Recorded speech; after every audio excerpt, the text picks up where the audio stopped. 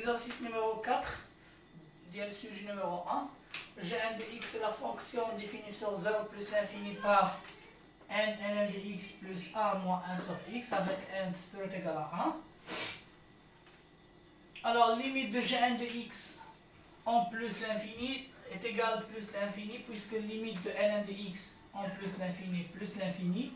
1 sur x en plus l'infini c'est 0. Donc plus l'infini, 0 c'est plus l'infini. En 0 plus, ln de x en 0 plus c'est moins l'infini. Moins 1 sur x en 0 plus c'est moins l'infini. Donc moins l'infini, moins l'infini, notre limite c'est moins l'infini. Question 2. Calculer Gn' de x et dresser le tableau de variation de Gn. Alors, puisque ln de x est une fonction logarithmique, donc elle est dérivable sur 0 plus l'infini. 1 moins 1 sur x. Une fonction, euh, une fonction rationnelle, donc est dérivable sur les deux intervalles moins l'infini 0. 0 plus l'infini. Donc il est dérivable sur 0 plus l'infini. Gn de x, ou bien Gn dérivable sur 0 plus l'infini en tant que somme de deux fonctions dérivables.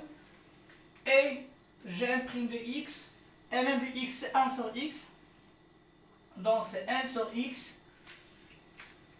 La dérivée de 1 sur x c'est moins 1 sur x au carré avec le moins, c'est plus 1 sur x au carré. Donc la fonction euh, Gn' de x est strictement positive, donc Gn est strictement croissante. Plus l'infini, c'est plus l'infini. 0, c'est moins l'infini. Alors, question 3. Gn de 1 est égal 0. Alors, on remarque que sur 0, 1, la fonction est négative. Sur 1 plus l'infini, la fonction est positive. Alors, une rédaction pour le signe. Gn dérivable sur 0 plus l'infini, donc il est continu sur 0 plus l'infini. x entre 0 et 1 Gn continue sur 0, 1, 1 inclus. Donc Gn de x inférieur strictement Gn de 1. Donc Gn de x il est négatif. x strictement supérieur à 1, Gn continue strictement croissante. Donc Gn de x supérieur strictement Gn de 1. Donc Gn de x il est positif. Donc le signe de Gn de x, elle, est, elle s'annule en 1, négatif, positif. Le signe de x moins 1, il s'annule en 1. Et après, le signe de x moins 1 fois gn de x. Négatif, positif, plus fois plus, plus, plus. Donc, quel que soit x entre 0 plus l'infini, x moins 1 gn de x, il est toujours au positif et il s'annule en 1. Maintenant, on passe à la partie 2.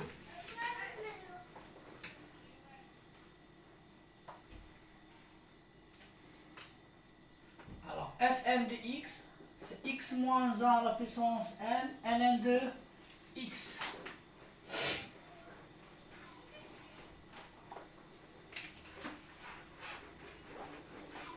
La première question, alors la première question, calculer limite en 0 plus et donner une interprétation géométrique.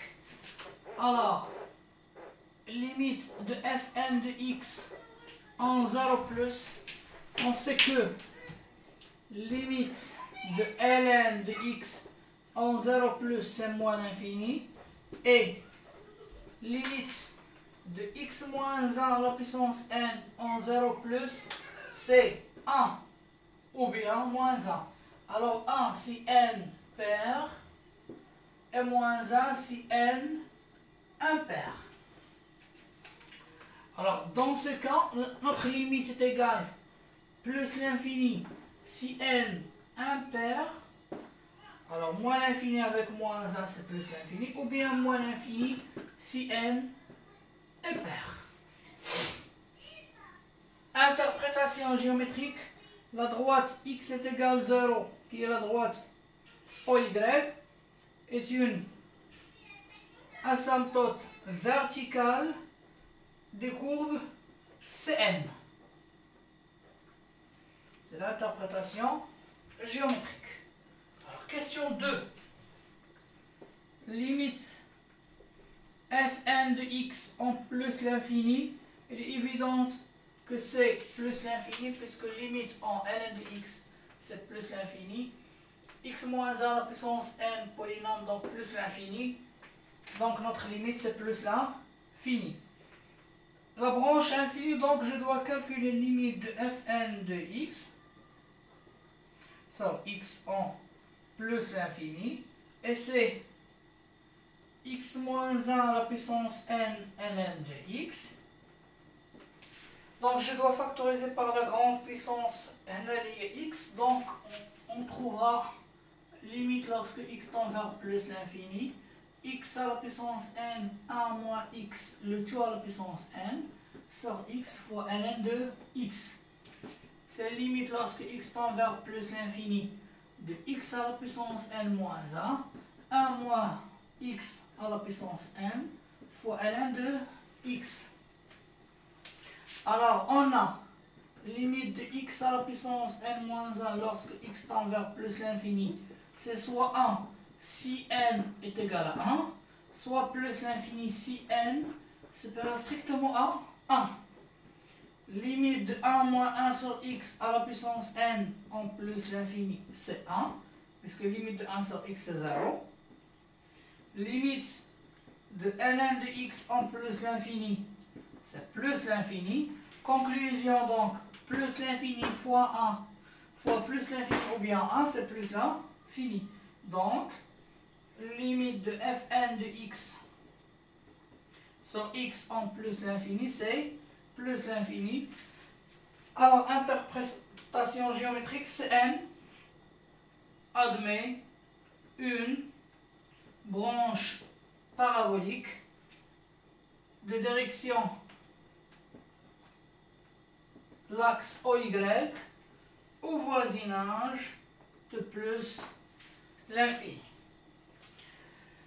Alors, question 3 montre que quel que soit x appartenant à 0 plus l'infini,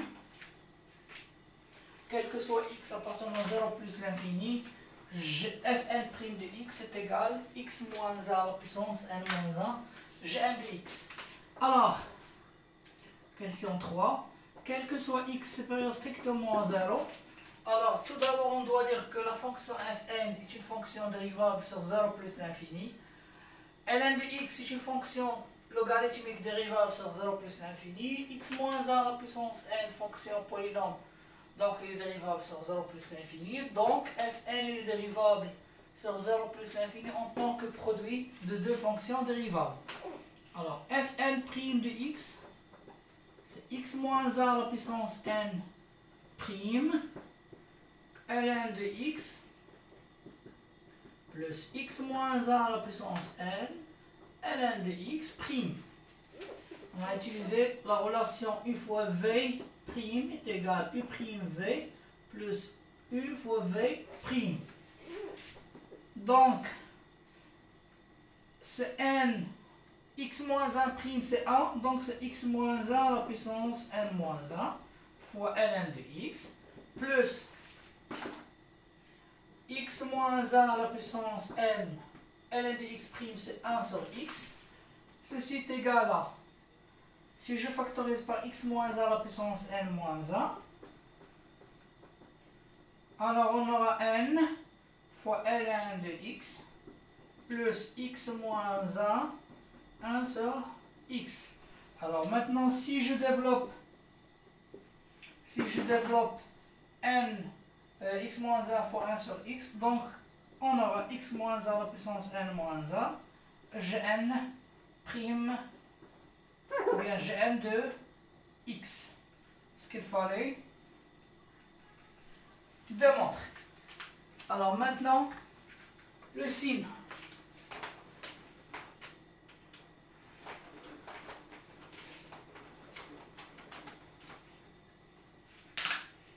Alors, supposons n impair, donc n-1, n-1,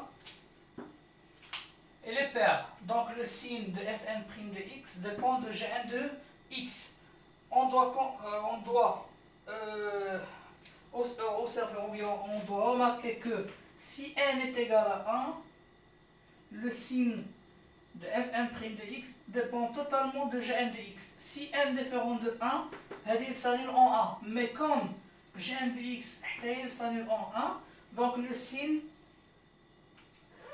euh, dans le cas de n est égal à 1, le signe de Gn de x, ou bien dans le cas de n différent de 1, A est une solution. Donc A est une solution dans les deux cas. Maintenant, on doit distinguer deux cas. Premier cas, n impair. Donc, quel que soit x strictement positif, x moins a à la puissance n moins a, il est positif.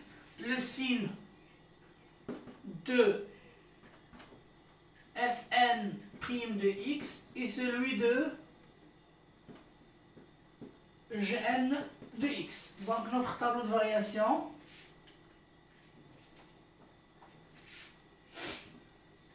X 0 plus l'infini, elle s'annule en 1, elle n'est pas définie en 0, fn de x, f, fn. Alors, de 0 à 1 négatif pour positif.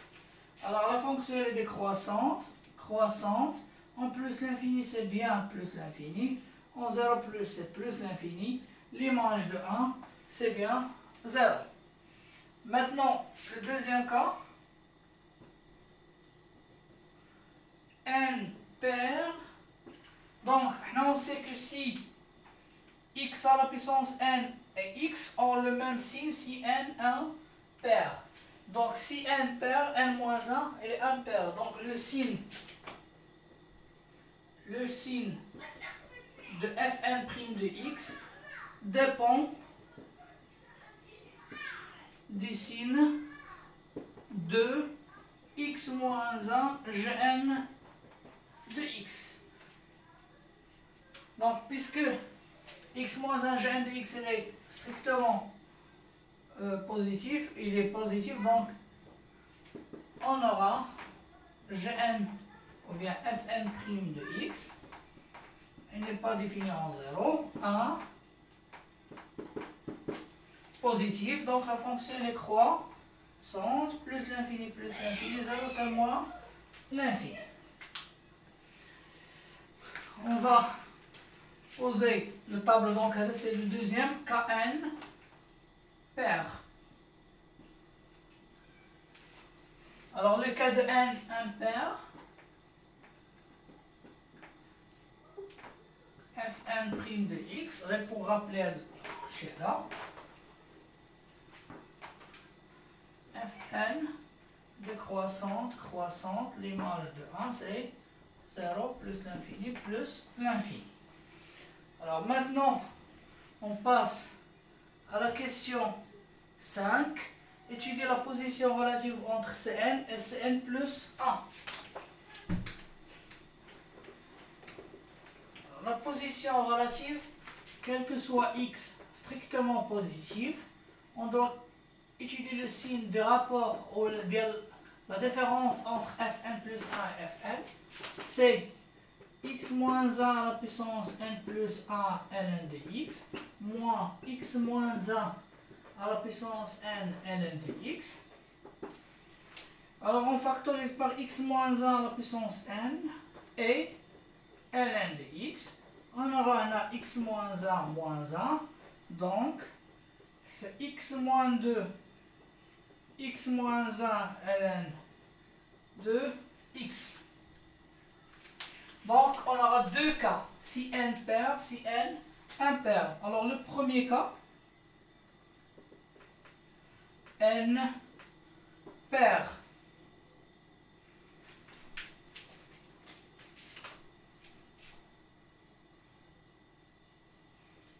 Zéro plus l'infini. Alors, ln de x s'annule en 1, x moins 1 s'annule en 1, x moins 2 s'annule en 2. Alors, x moins 1 à la puissance n, x moins 2, ln de x, après fn plus 1 de x moins fn de x. Il n'est pas défini en 0, il s'annule en 1, ln s'annule en 1. Donc, elle s'annule en 2. Alors, non, toujours positif puisque n perd. Moins, moins, plus, ln en 0, 1 négatif, en 1 plus l'infini positif. Donc c'est plus, moins, moins, c'est plus, plus, moins, plus, c'est moins, plus, plus, plus, c'est plus. Donc, la position relative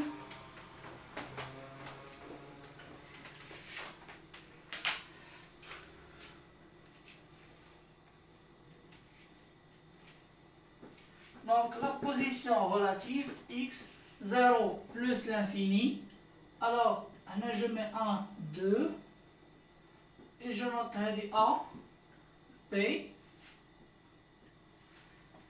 Cn plus 1, puisque le signe positif, donc Cn plus 1 au-dessus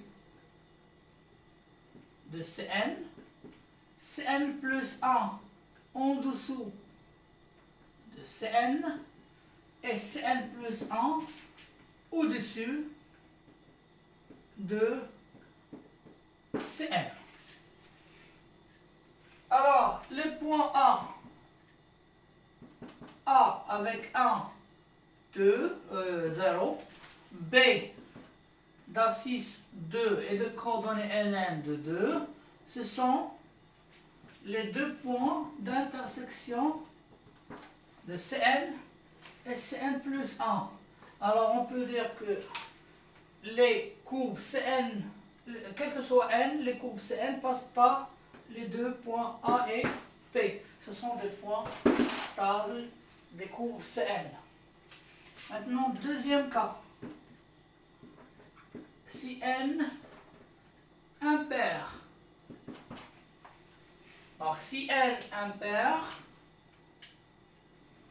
on aura x moins 1 à la puissance n, x moins 2, ln de x, fn plus 1 de x moins fn de x, et la position relative. Alors 0 plus l'infini, 1, 2,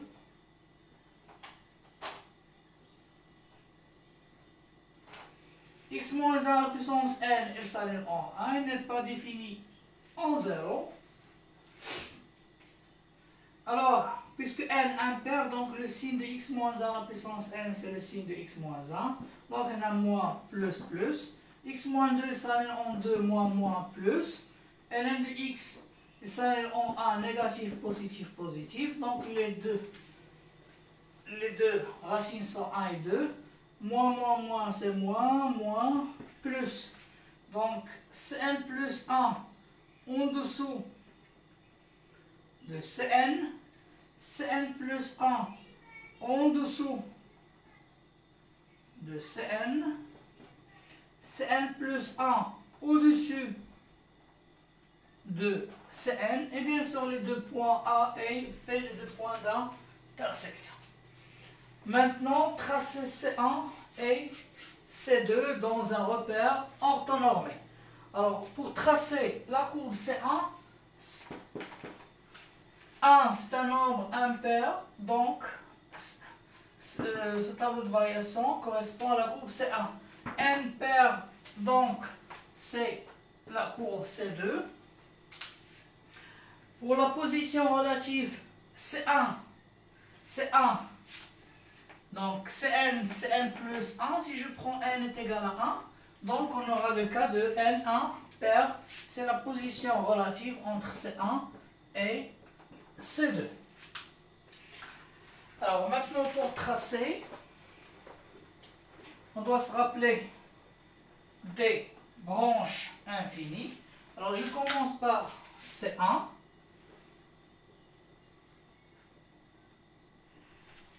Alors, C1, bien sûr, les deux points sont A et B. A, 1, 0, donc c'est le point A. B, c'est le point 2. ln de 2, ln de 2 est égal à peu près 0,7, donc le point B. Alors je commence par C1. Alors, c'est une branche x est égal à 0 asymptote verticale, branche parabolique vers l'axe OY au voisinage de plus l'infini, et comme euh, f' s'allume en 1, donc c'est une tangente horizontale au point 1, 0. Donc au point 1, 0, on a une tangente horizontale. Donc la fonction commence sa, sa descente ou bien elle est décroissante. Après passe par le point B. Et après une branche parabolique de direction l'axe O, Y. Alors, c'est de 2. Alors, en 0, x est égal à 0 asymptote verticale. F' en 1, donc tangente horizontale au point 1, 0. Branche parabolique de direction OY au voisinage de plus l'infini. Alors, asymptote verticale, donc la fonction est croissante. Alors du point A vers le point B, c'est 2. En dessous de c'est n. Donc je dois tracer. Voilà. De 1 à B, C2, la courbe C2. En dessous de la courbe C1 du point B jusqu'à l'infini, c'est l'inverse. C'est 2 au-dessus. Sachant que le point, puisque f' il s'annule en 1, il ne change pas de signe à gauche et à droite de 1, donc c'est un point d'inflexion. Donc la fonction elle est concave et la fonction elle est convexe, donc c'est un point, point d'inflexion flexion. Alors, question 7. Déterminer l'aire du domaine, l'aire du domaine, donc la question 7, l'aire domaine déterminé par les deux droites x est égal 1, x est égal 2, donc ce sont les points M, X, Y, tels que X entre E et 1, et Y entre C1 et C2. Puisque dans l'intervalle 1, E, donc euh, Y entre F2 de X, F1 de X, y entre f2 de x, f1 de x. Alors, on va corriger. Le x est égal à 2. On va prendre x est égal à 2. Comme ça, entre 1 et 2, c'est 2. En dessous de c'est 1. Donc, on a bien y entre f2 de x et f1 de x. Donc c'est l'air déterminé par les deux droites verticales 1 et 2 et les courbes C1, C2. Donc on s'intéresse euh, les deux droites verticales 2 et 1 et donc c'est bien. Où est euh, le domaine d'Iena alors l'air est égal. L'intégrale de 1 à 2, la valeur absolue de f1 de x moins f2 de x, ou bien f2 de x moins f1 de x, fois l'unité d'air. Alors, puisque, quel que soit, x appartenant à l'intervalle 1, 2, f1 de x moins f2 de x, elle est positive. Donc f2 de x moins f1 de x, elle est négative. Donc f1 de x moins f2 de x positive. Donc, on aura bien S est égal à l'intégrale 1 de f1 de x moins f2 de x fois l'unité d'air de x.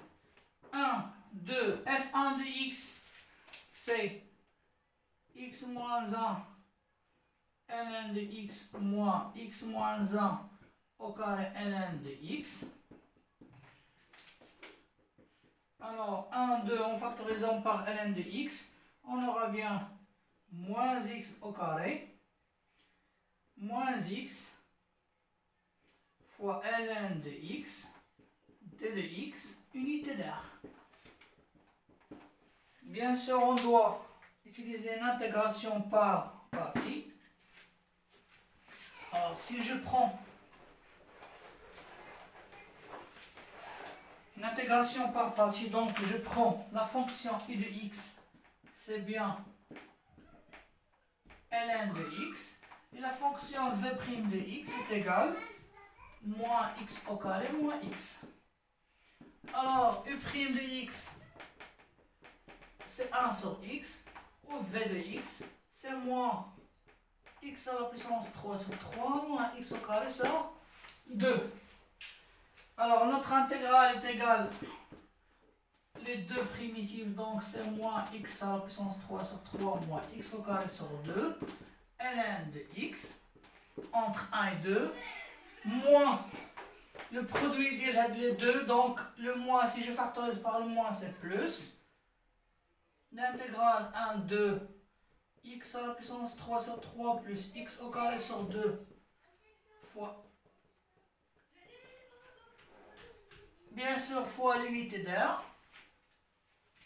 Alors si je remplace par 2, j'aurai moins 8 moins 8 sur 3 moins moins 2 fois ln de 2 moins le remplacement par 1 c'est 0 plus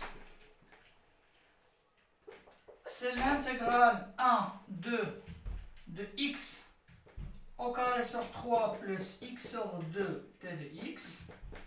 Bien sûr, toujours fois l'unité d'air. C'est moins 14 sur 3 ln de 2 plus, alors la primitive de x au carré sur 3, c'est x à la puissance 3 sur 9, plus x au carré sur 4, 1, 2, fois toujours l'unité d'air. Alors si je remplace par 2, c'est 8 sur 9 plus 1, moins remplacement par, c'est 1 sur 9, moins 1 sur 4. Alors, fois toujours l'unité d'air. C'est moins 14 sur 3, ln de 2, plus, alors, non, entre 4 et 9, c'est 36.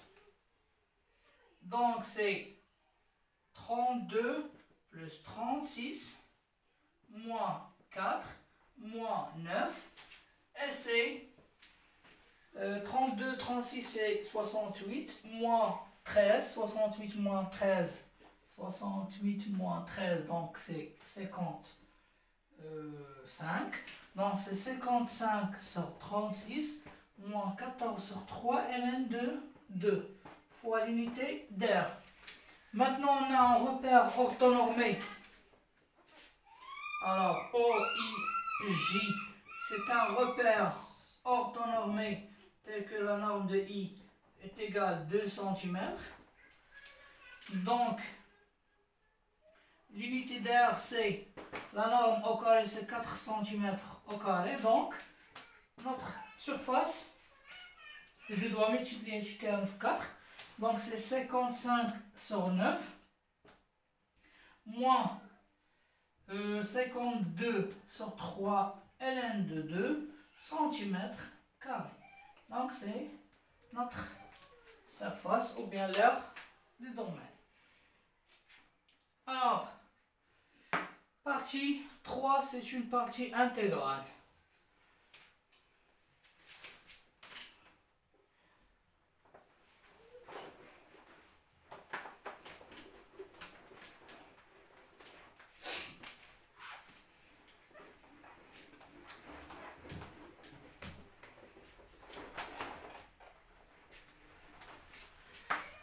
Alors on prend partie 3, la f de x, c'est la fonction de 1 ou bien de x, x au carré, f1 de t, so, t moins 1 à la puissance 4 de 2, t. Alors on a x différent de 0 f de 0, c'est 0.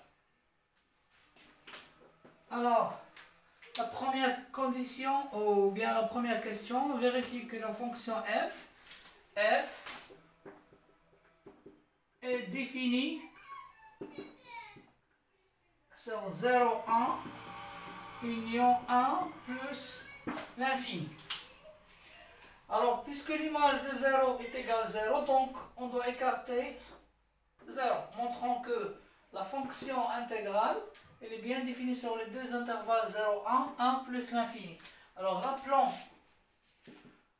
rappelons que l'intégrale AB f de t d de t existe si seulement si f continue sur l'intervalle AB ou bien l'intervalle B. Alors, soit x appartenant à l'intervalle 0,1 union 1 plus l'infini.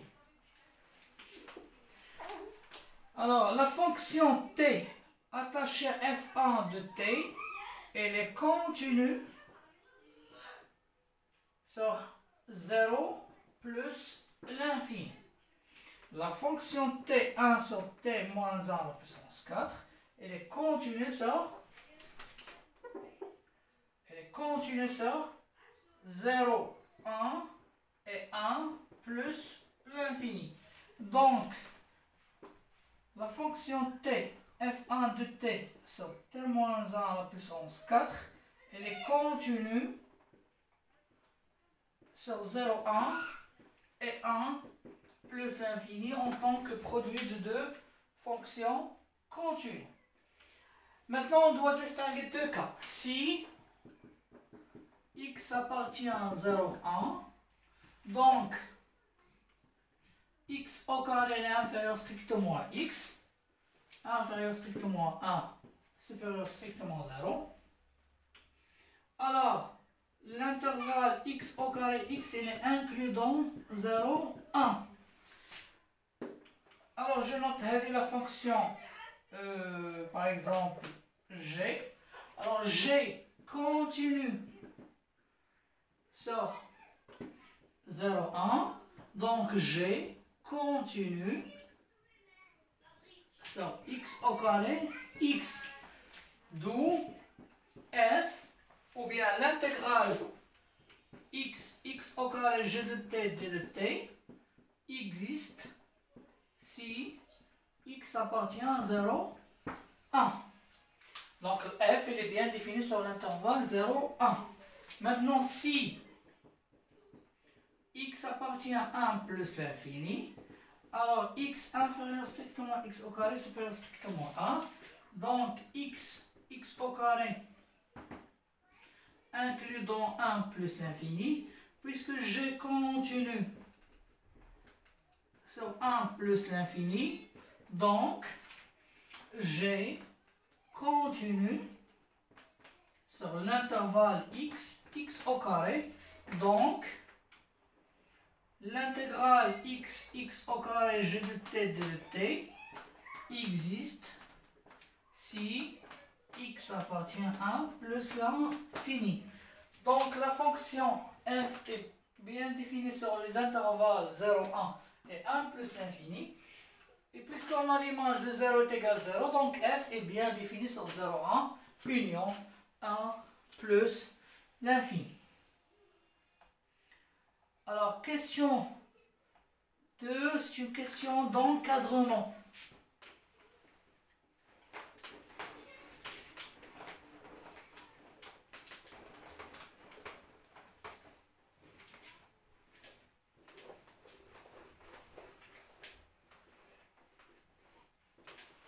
Alors, montrant que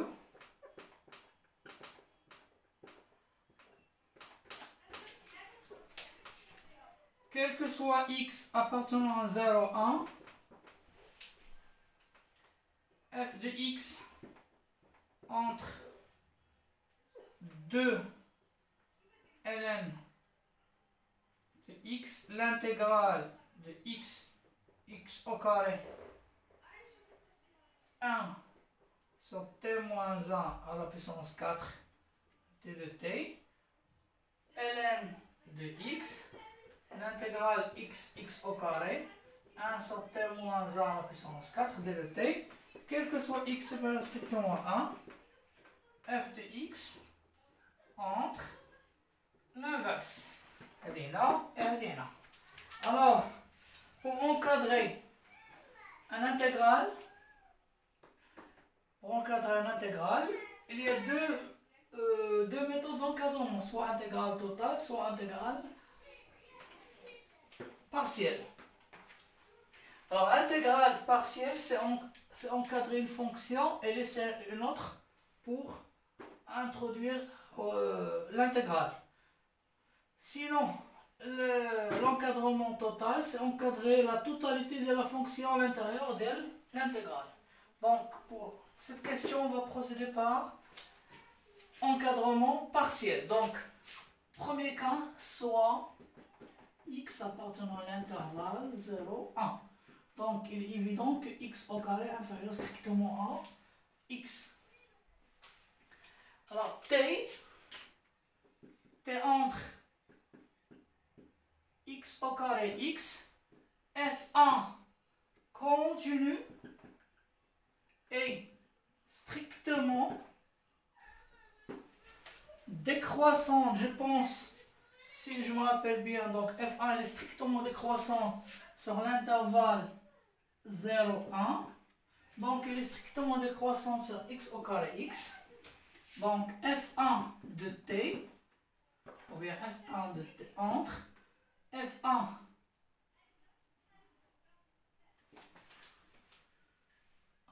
normalement, on a t à la puissance 4, 3, t à la puissance 3, donc j'ai j'ai mis une faute. Donc, avant d'entamer l'encadrement, donc fx appartenant à 0, 1 union 1 plus l'infini, f de x, c'est x, x au carré, f1 de t, c'est t moins 1 ln de t, sur t moins 1 à la puissance 4 d de t.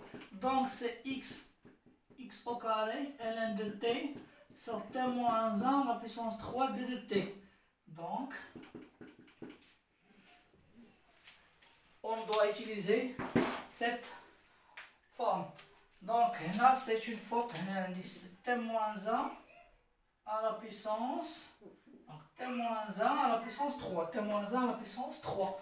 Donc, ln2 T. Donc on va entamer avec un encadrement partiel. Donc, puisque T-1 à la puissance 3 existe dans les deux intégrales des extrémités, donc je dois encadrer ln de t et laisser t-1 à la puissance 3. Alors, le premier cas, x appartient à l'intervalle 0,1. Donc t entre x, x au carré, x inférieur strictement à 1, strictement positif. Donc t entre x, x au carré, ln de t entre ln de x, de ln de x, Bien sûr, t moins 1 à la puissance 3, est strictement négatif. Donc, on divise sur t moins 1 à la puissance 3. Donc, je change de position. 2 ln de x sur t moins 1 à la puissance 3. ln de x sur t moins 1 à la puissance 3. Maintenant, pour introduire l'intégrale, on doit dire que les trois fonctions t attachées ln de x sur t-1 à la puissance 3, t attaché à ln de t sur t-1 à la puissance 3, t attaché à 2 ln de x sur t-1 à la puissance 3, et les continues, ce sont des fonctions continues sur l'intégrale x au carré x. Rappelons que g de t inférieur ou égal à f de t, t appartient à l'intervalle AB, donc l'intégrale AB g de t inférieur ou égal à l'intégrale AB f de t, t de t. Donc en introduisant l'intégrale, on aura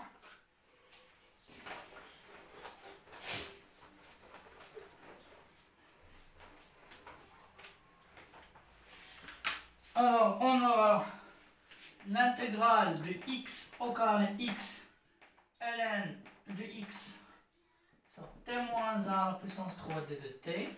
L'intégrale x au carré x ln de t sur t-1 à la puissance 3d de t inférieur égal à x au carré x 2 ln de x sur t-1 à la puissance 3d de t.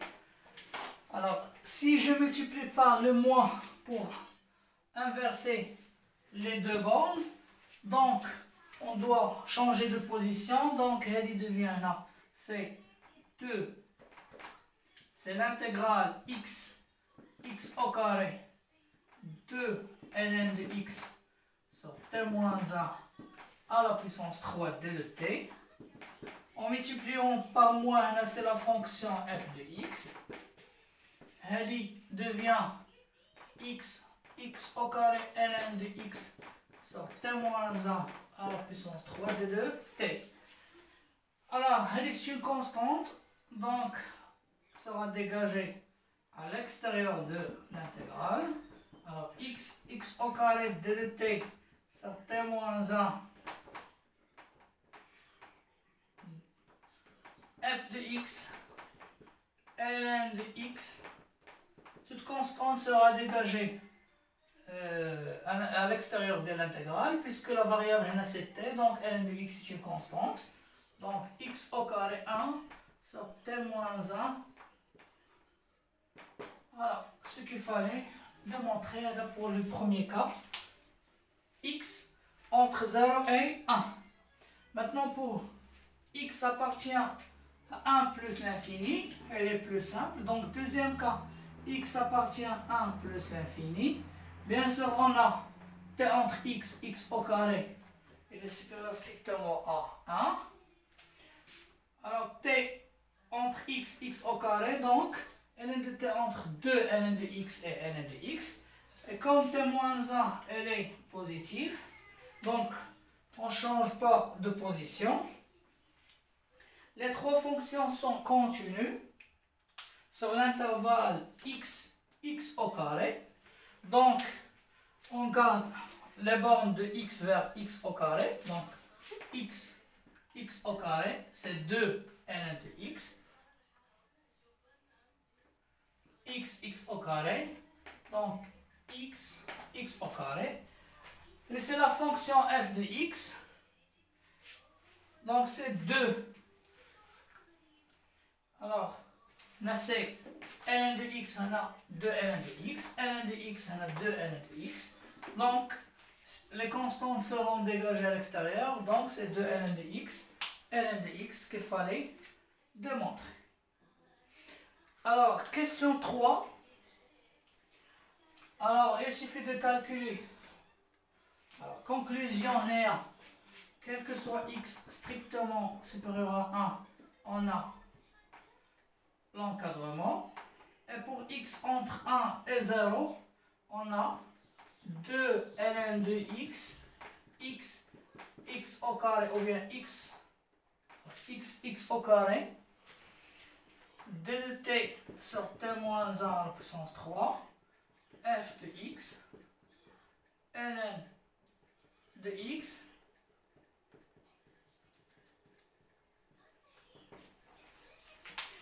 Alors maintenant, il suffit de calculer l'intégrale de x, x au carré de 2t sur t moins 1 à la puissance 3. Bien sûr, on, utilise les formules d'intégrale. Alors l'intégrale de x, x au carré 2t sur t moins 1 à la puissance 3 est égale l'intégrale de x, x au carré t moins 1 prime fois t moins 1 à la puissance moins 3 d de t. Et ça va laisser u, u à la puissance moins 3. Alors u fois u à la puissance moins 3. La primitive c'est t moins 1 à la puissance moins 3 plus 1 c'est moins 2. Sur moins 2 de x à x au carré. Donc c'est moins 2 plutôt moins 1 sur 2 t moins 1 au carré de x. À x au carré. Alors si je remplace par, donc si je remplace t, si je remplace t par x au carré, on aura moins 1 sur x au carré moins 1, le tout au carré fois 2, si je remplace par x, donc on aura 1 sur x moins 1 au carré fois 2. En mettant les deux fractions sur le même dénominateur, on aura 2 facteur de x au carré moins 1, le tout au, au carré. Bien sûr, je dois multiplier 9h. Non, ça reste comme ça. Non, je dois multiplier par x plus 1, le tout au Ok. Maintenant, je développe. Je développe. Là, c'est x au carré plus 2x sur 2, facteur de x au carré moins 1, le tout au carré. Donc, c'est l'intégrale de x, x au carré, 2 de t sur t moins 1 à la puissance 3. Alors, si je remplace dans le résultat de la question 2, on a quel que soit x entre 0 et 1. Alors, je remplace Heda par la relation, on multiplie x au carré plus 2x fois ln de x, 2 avec 2 mchat. Donc c'est x au carré moins 1 carré inférieur ou égal à f de x. Inférieur ou égal à x au carré plus 2x ln de x. Sur x au carré moins 1 le tout au carré fois 2 et quel que soit x strictement supérieur à 1 c'est l'inverse. X au carré plus 2x ln de x. Sur x au carré moins 1 le tout au carré f de x 1 fois 2, x au carré plus 2x ln de x, sur x au carré moins 1, le tout haut, ce qu'il fallait démontrer. Alors, la question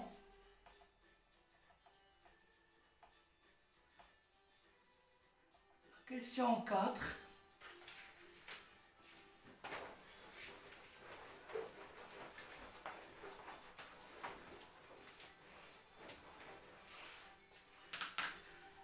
Question 4, limite en plus l'infini, limite en 1 plus et limite euh, en 1 moins. On commence par limite en plus l'infini. Pour calculer la limite en plus l'infini, je dois calculer la limite des deux extrémités ou bien une de ces deux extrémités. Alors je commence par Hadi. Alors limite limite de x au carré plus 2x ln de x sur x au carré moins 1 le tout au carré en plus l'infini bien sûr des limites avec polynôme ln je factorise toujours par la grande puissance les polynômes alors, c'est limite lorsque x tend vers plus l'infini. je factorise par x au carré 1 plus 2 sur x. Maintenant, x à la puissance 4, 1 moins 1 sur x au carré, le tout au carré, fois ln de x. C'est limite lorsque x tend vers plus l'infini. 1 plus 2 sur x. 1 moins 1 sur x au carré, le tout au carré x au carré avec x à la puissance 4, c'est x au carré. Donc, c'est ln de x, x au carré. Alors, rappelons que la limite de ln de x sur x au carré, c'est 0. Limite, c'est 1, limite, c'est 1. Donc, notre limite, c'est 0. Car, limite de 1 plus 2 sur x en plus l'infini, c'est 1 limite de 1 moins 1 sur x au carré, le tout au carré, c'est 1. Limite de ln de x sur x au carré en plus l'infini, c'est 0.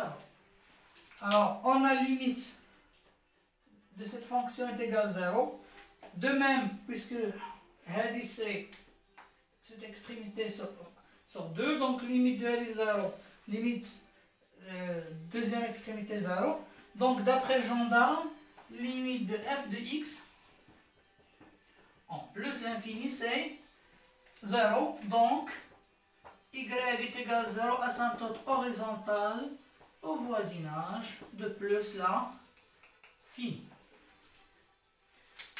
Alors, maintenant limite en 1 plus et 1 moins. Alors, pour 1 plus, je commence, alors je prends cette inégalité. Alors je calcule limite en 1 plus de cette fonction ou bien de cette fonction. Alors, limite de x au carré plus 2x ln de x x au carré moins 1 le tout au carré fois 2 en plus l'infini, euh, plutôt en 1 plus, c'est x au carré plus 2x sur 2. Identité remarquable, donc c'est x plus 1 au carré, fois ln de x, x moins 1. Donc, pour calculer la limite, je dois la construire. C'est une limite usuelle. Reste à multiplier chiffre fois 1 sur x moins 1, puisque c'est x moins 1, x plus 1, le tout au carré. x moins 1, x moins 1, c'est x moins 1 au carré. Maintenant, elle est une limite usuelle. Limite de ln de x sur x moins 1 en 1, c'est 1. Et limite de 1 sur x moins 1 en 1 plus c'est bien plus l'infini, 1 sur 0 plus, plus l'infini, et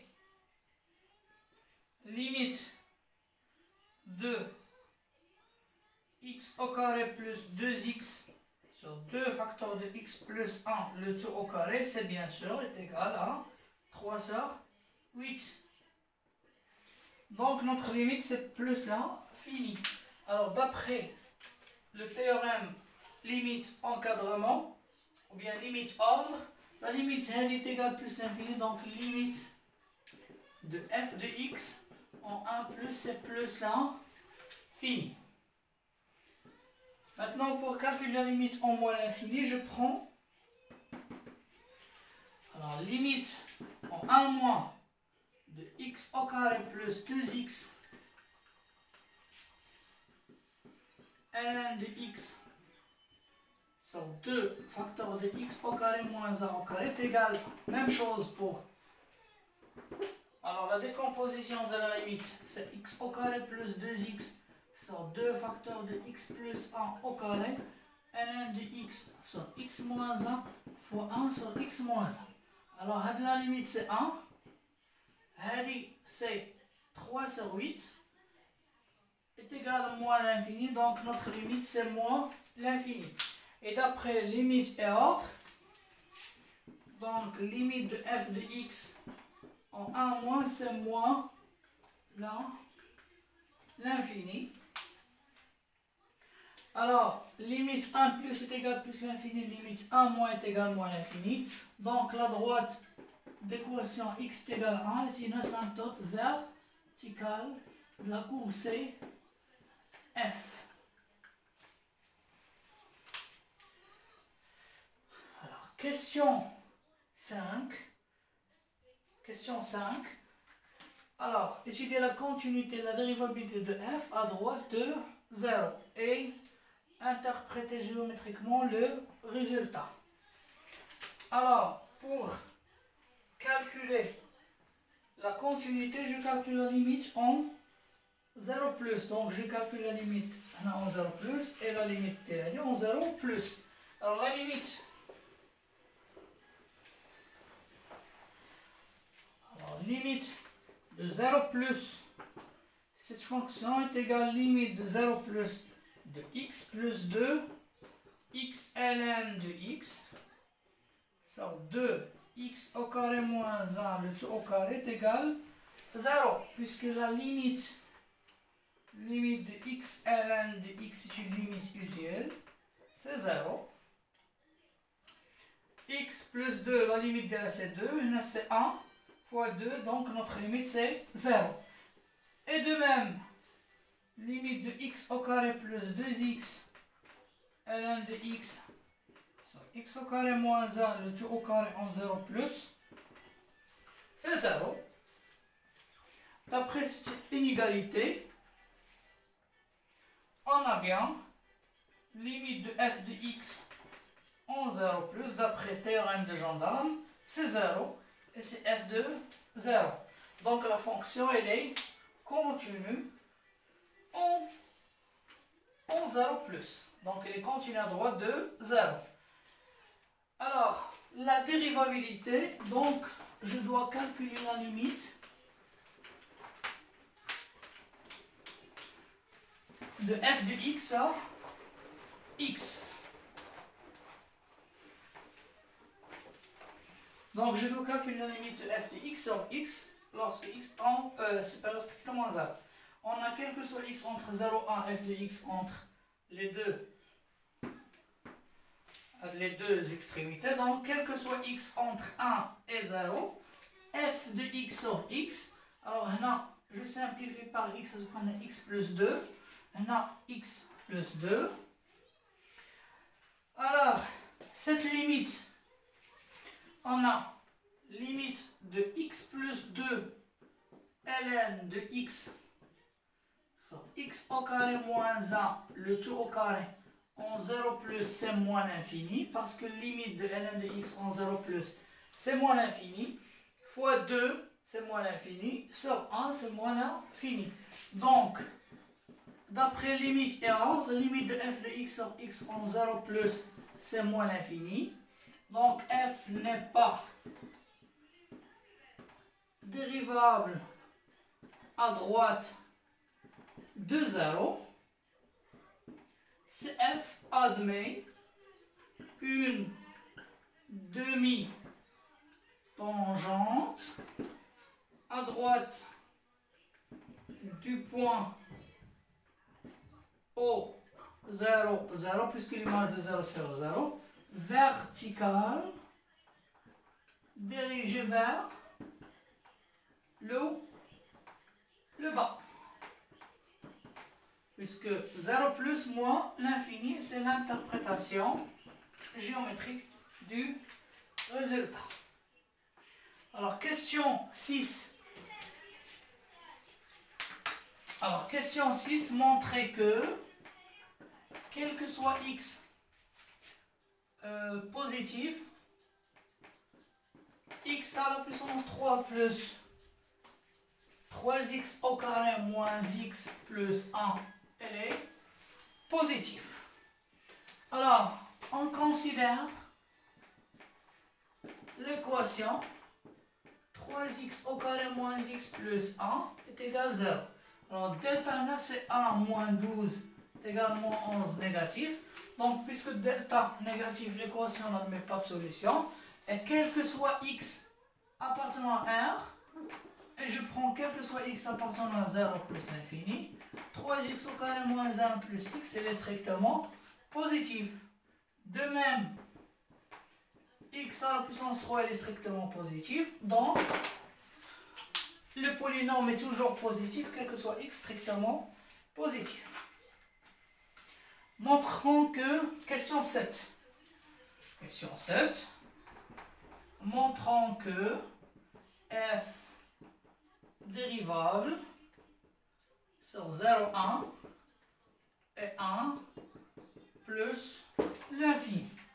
Et dresser le tableau de variation de f.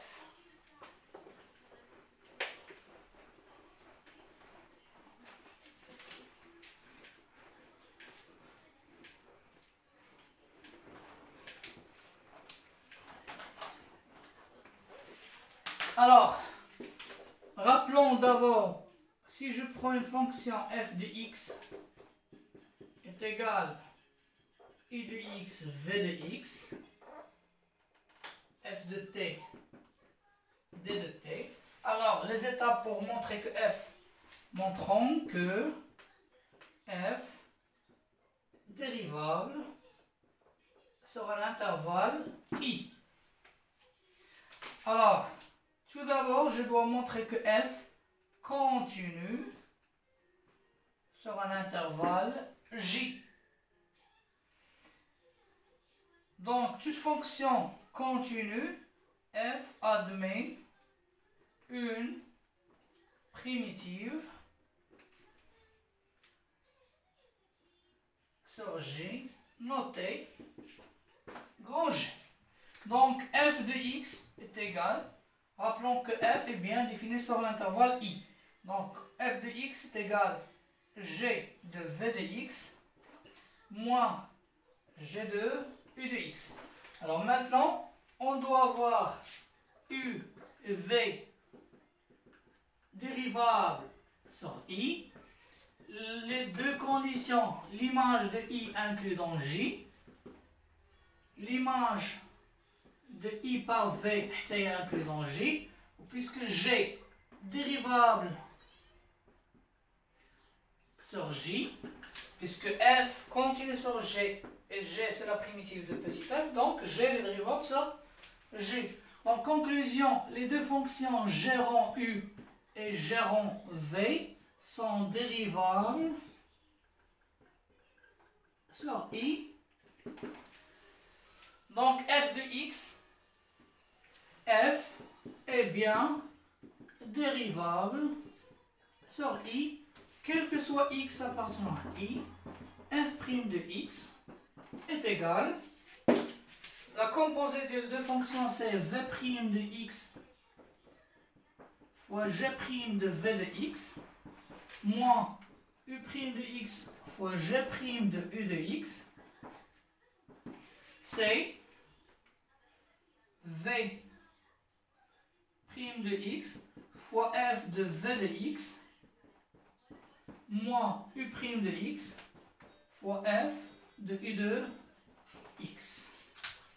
Donc la rédaction pour montrer qu'une fonction définie par intégrale est bien dérivable sur un intervalle i. Alors,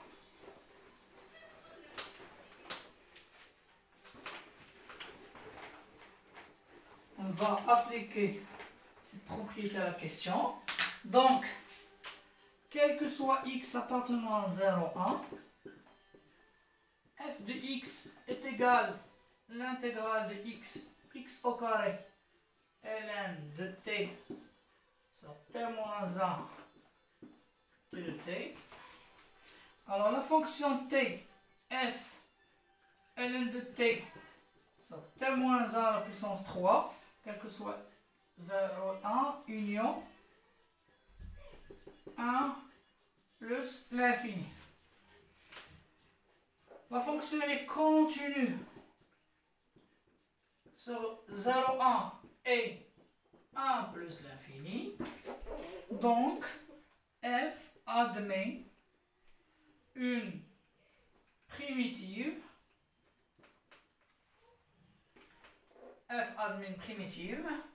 Notée g sur 0, 1 et 1 plus l'infini. Alors, quel que soit x appartenant à 0, 1, union 1 plus l'infini, normalement, normalement, je dois traiter les deux intervalles une à une. Donc, je dois traiter l'intervalle 0, 1 euh, et 1 plus l'infini. Donc, cette fonction f de x est égale g de x au carré moins g de x. Maintenant, il a le composé des deux fonctions. Donc, la fonction x attachée à x au carré. Donc, laisse donc je dois traiter l'intervalle seulement 1 plus 0, 1. Et après, on va même faire le même, euh, la même chose pour l'intervalle 1 plus l'infini. Alors la fonction x attachée à x au carré, on se met u, dérivable sur 0, 1. L'image de 0, 1 est inclus dans 0, 1. Normalement, est égal 0, 1, puisque la fonction x au carré est une fonction croissante sur 0, 1. L'image de 0, c'est 0. L'image de 1, c'est 0. G dérivable sur 0, 1. Donc, la fonction x attachée à g de x au carré, dérivable sur 0, 1 en tant que composé des deux fonctions dérivables. Donc, grand F est le dérivable sur 0, 1 en tant que différence de deux fonctions dérivables. Même chose pour l'intervalle. 1 plus l'infini, il suffit de remplacer 0,1 par 1 plus l'infini, 1 plus l'infini, donc quel que soit x appartient à 1 plus l'infini, donc je remplace l'intervalle 0,1 e par 1 plus l'infini, 1 plus l'infini, 1 plus l'infini, 1 plus l'infini, 1 plus l'infini. Alors, quel que soit x appartenant à 0, 1, union 1 plus l'infini,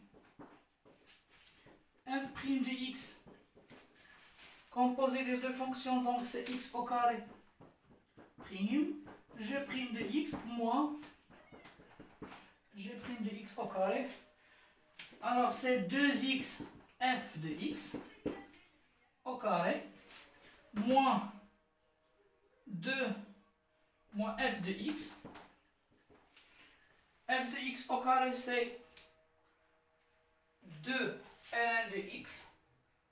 sur x au carré moins 1 à la puissance 3. Donc c'est 4 x ln de x, x au carré moins 1 à la puissance 3, moins ln de x, x moins 1 à la puissance 3. Alors je mets le même dénominateur, donc x au carré moins 1 à la puissance 3, ln de x, donc c'est 4x moins x plus 1 à la puissance 3. On a factorisé par ln de x. Après, développement de l'identité remarquable. Alors je trouve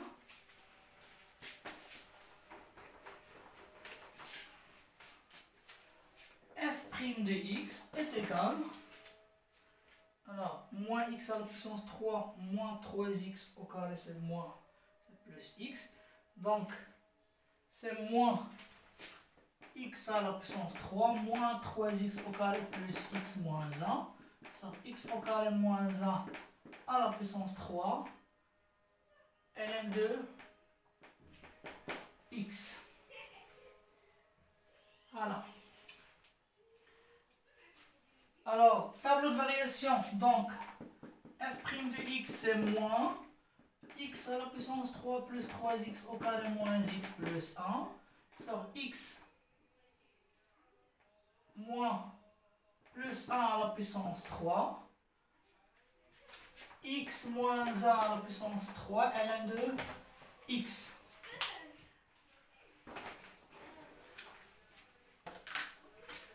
Quel que soit x strictement positif, x à puissance 3, 3x au carré moins x plus 1, elle est strictement positive. x plus 1 à la puissance 3, strictement positif. Donc le signe dépend de ln de x, x moins 1 à la puissance 3, et ce moins. Maintenant on sait que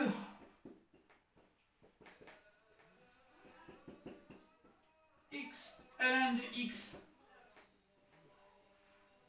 donc ln de x sur x moins 1 à la puissance 3, moins plus, moins plus, moins avec le moins c'est plus plus, donc quel que soit x appartenant à 0, 1, union 1 plus l'infini, f' de x, elle est strictement négative. Donc, notre tableau de variation, x, 0 plus l'infini, 1, f' de x. Elle n'est pas dérivable, on a trouvé la dérivabilité moins l'infini en 0 plus. Donc, euh, elle n'est pas définie en 1. Elle est toujours décroissante. Donc, limite en plus l'infini, c'est 0. Là, c'est plus l'infini, moins l'infini. L'image de 0, c'est 0. Tracé C de F. Alors, C de F, donc, elle est évidente. Alors, l'image de 0, c'est 0. Une demi-tangente verticale dirigée vers le, le bas. x est égal à 1, asymptote verticale. Donc, un point d'inflexion. La fonction, elle est décroissante vers la branche, ou bien y est égal à 0 asymptote horizontale au voisinage de plus là, fini donc la courbe CF. Et rappelons que la norme c'est 2 cm.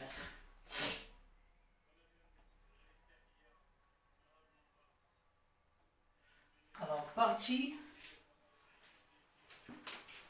partie 4.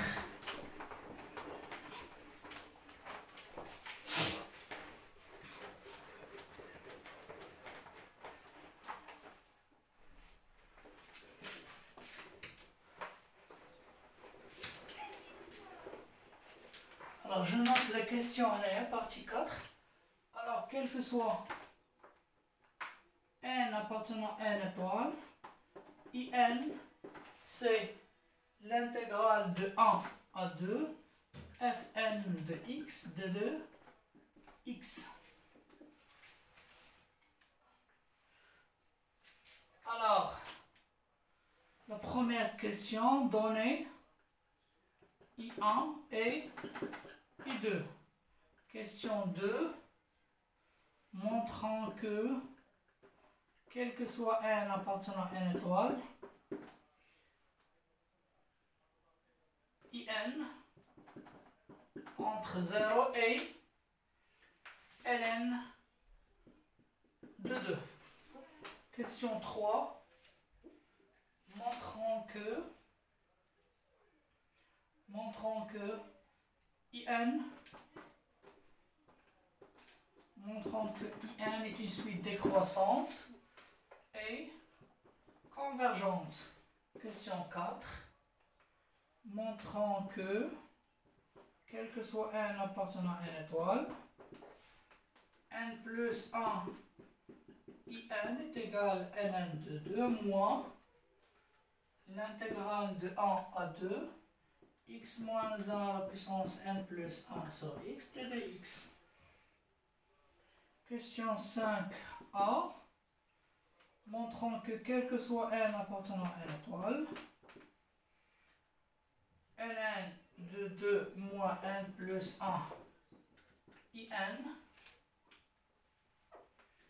entre 1 sur n plus 2 et 1 sur 2 facteur de n plus 1. Euh, n plus 2. B déduire limite de n plus 1 in. Bien sûr, lorsque n tend vers plus l'infini. Alors, calculons I1. Bien sûr, I1, c'est l'intégrale de 1 à 2 de f1 de x de 2. x est égal à l'intégrale de 1 à 2, x moins 1, ln de x. On va procéder par une intégration par partie. Donc, u2 x, c'est ln de x.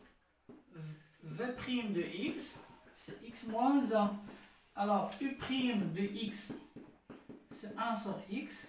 v de x, c'est x au carré sur 2 moins x. Alors, I1, I1 entre les deux crochets x au carré sur 2, les deux primitives, ln de x, de 1, 2 moins, de 1 à 2, je multiplie à 10 fois L, donc c'est x sur 2 moins 1, de 2, x. Alors, je remplace par 2, on va trouver 0. 4 sur 2, 2 moins 2, c'est 0. Et pour 1, c'est 0. Donc c'est moins. Alors, la primitive de c'est x au carré sur 4, moins x de 1 à 2. Alors si je remplace par 2, je trouve moins 1. Avec le moins, c'est donc 2, 4 sur 4, 1 moins 2, c'est moins 1, donc c'est 1. Si je remplace par 1, 1 sur 4 moins 1, c'est moins 3 sur 4. Avec le moins, c'est 3 sur 4. Avec le moins, c'est moins 3 sur 4. Donc, c'est 1 sur 4. Donc, I1, c'est 1 sur 4. Maintenant, U2. Alors, I2, c'est l'intégrale de f de x de x, x moins 1 au carré n de x. Alors, je prends x moins 1 au carré, il y a x au carré moins 2x plus 1.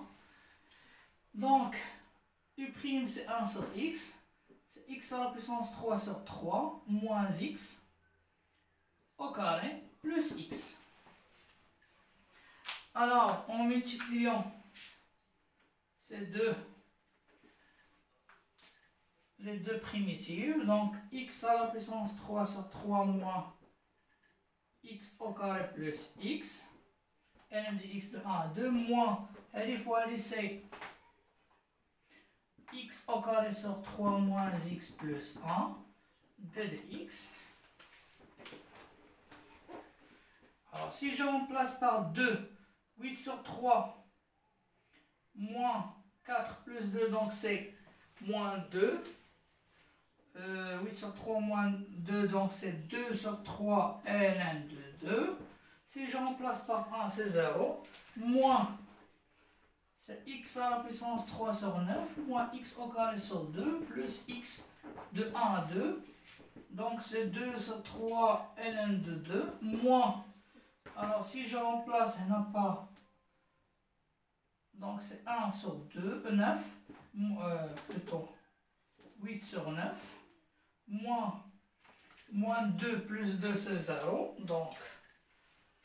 Moins, si je remplace par 1, j'ai 1 sur 9 avec le moins, plus 1 sur 2, moins 1. Donc, c'est 2 sur 3 ln de 2, moins, alors je mets la sur 18, c'est 16, moins 2, plus 9 moins 18. Donc, I2, c'est 2 sur 3 ln de 2. Alors, 16 moins 9, donc 16 moins 9, c'est 7. Moins 2, c'est 5 sur 18 et c'est l'intégrale I2. Maintenant, IN entre 1 et 2. Rappelons que la fonction Fn, alors la question 2, Fn est croissant toujours sur l'intervalle 1 plus l'infini, quel que soit n sur égal à 1. Donc, si je prends x entre 2 et 1, Fn est croissant, donc Fn de x entre Fn de 2 ou Fn de 1. Ceci, quel que soit n, c'est être égal à 1. Donc Fn de x, Fn de 2, c'est ln de 2. Fn de 1, c'est 0. Alors, en introduisant l'intégrale, donc l'intégrale de 1 de Fn de x, l'intégrale 1 de ln de 2 d de x, d de x, 0. Bien sûr, c'est in, la suite in, 0. Et c'est ln de 2. Si quel que soit n supérieur ou égal à 1, ce qu'il fallait démontrer. Alors, montrons que in est décroissante, il suffit de calculer, quel que soit n appartenant à 1, in plus 1 moins in, c'est l'intégrale de 1 de fn plus 1 de x moins fn de x, de 2 x. Rappelons, euh, d'après la partie 3, la partie 3, quel que soit x appartenant à l'intervalle 1, 2, fn plus 1 de x moins fn de x, il est toujours négatif, quel que soit c'est peut être à 1. Donc, le signe de in plus 1 moins in est toujours négatif. Donc la suite, elle est décroissante, mais n'aurait pas 0, donc elle est con convergente. Alors maintenant, pour montrer on doit procéder par une intégration par partie. In, si quel que soit n ou égal à 1, fn, donc x à la puissance n. Alors je prends u de x, c'est ln de x. Donc u' de x, c'est u' de x, c'est bien sûr 1 sur x. On a x moins 1 à la puissance n. Donc v de x est x moins 1 à la puissance n plus 1 sur n plus 1.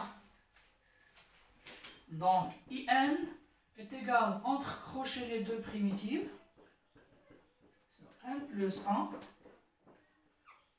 ln de x de 1 à 2 moins 1, 2 et des fois, c'est x moins 1 à la puissance n plus 1. So, n plus 1 fois x de x. In est égal. Alors, si je remplace par 2, 2 moins 1, c'est 1. Donc, c'est ln de 2 sur n plus 1. Si je remplace par 1, c'est 0. Moins n plus 1 est une constante, donc elle sera dégagée. Donc, 1 sur n plus 1. L'intégral 1, 2.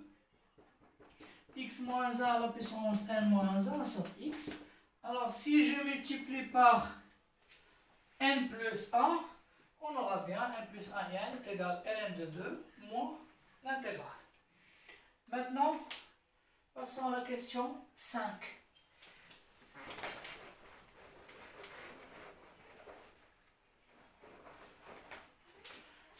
Alors, question 5, quel que soit n supérieur ou égal à 1. Si je prends cette, égalité, donc on a ln de 2 moins ln de 2 moins n plus 1 in est égal l'intégrale de 1 de x moins 1 à la puissance n plus 1 sur x de 2 x. Alors on procède par une intégration ou bien par un encadrement partiel. Pour avoir 1 sur n plus 2, c'est la primitive de x moins 1 la puissance n plus 1. Donc, je, dois encadrer 1 sur x et laisser x moins 1 la puissance n plus 1 pour l'intégrale pour avoir 1 sur n plus 2. Donc, on a x entre 1 et 2, 1 sur x entre 1 et 1 sur 2. Bien sûr, x moins a à la puissance n plus a, il est positif. Donc, en multipliant les extrémités x moins a à la puissance n plus 1 sur x, on aura x moins a à la puissance n plus 1. On a 1 sur 2, x moins a à la puissance n plus 1.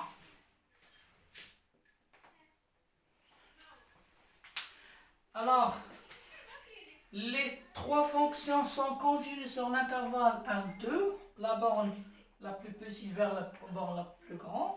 Donc, en introduisant l'intégrale, on aura 1 demi, l'intégrale 1 de x moins 1 à la puissance n plus 1 d de x, inférieur ou égal à 1 de x moins 1 à la puissance n plus 1 sur x d de x, inférieur ou égal à 1 de x moins 1 à la puissance n plus 1 t de x. Alors, maintenant, 1, 2, x moins 1 à la puissance n plus 1 t de x est égal, sa primitive c'est x moins 1 à la puissance n plus 2 sur n plus 2, de 1 à 2. Si je remplace par 2, j'aurai 1 sur n plus 2, et si je remplace par 1, c'est 0. Donc, si je remplace les trois intégrales par ces valeurs, donc, on aura bien sûr, donc si je remplace n par n, donc c'est 1 sur 2, quel que soit n, c'est égal à 1. Donc 1 sur 2 facteur de n plus 2. Alors si je remplace n par n de 2 moins moins n plus 1 in. Alors, si j'emplace l'intégrale par 1 sur n plus 2. Alors, la question B, puisque elle est positive, donc quel que soit n supérieur ou égal à 1, la valeur absolue de nn de 2 moins n plus 1 in inférieur ou égal à 1 sur n plus 2. Donc, n plus 1 in moins ln de 2 inférieur ou égal à n plus 2. Alors rappelons que si un moins l inférieur ou égal à vn, et limite de vn est égale à 0, donc limite de un est égale à n. Donc puisque limite de 1 sur n plus 2, toujours lorsque n tend vers plus l'infini est égal à 0, donc limite de n plus 1 IN est égal à NN de, de ce qu'il fallait démontrer.